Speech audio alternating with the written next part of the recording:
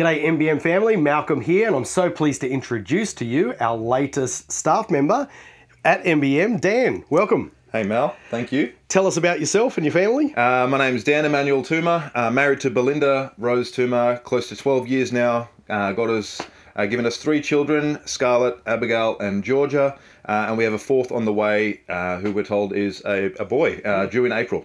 Fantastic, and welcome to all of you, not just you, your family as Thank well. you. We're glad to be here. What role will you be taking here at MBM? Uh, I'll be taking on the wonderful work that Rob's been doing, uh, the maturity space. Uh, I'll be do- doing, being the maturity pastor, uh, looking after growth groups, uh, the leaders, uh, and just helping people mature uh, in their faith and in the Lord Jesus. So good to have you on board. This week we'll be interviewing you at the Rooty Hill campus. In a few weeks you'll be at Parramatta, get a chance to be over there as well. But we thank God for you, and we're looking forward to you joining our team here, joining our family at MBM, and we wait. want to say welcome. Thank you. Can't wait.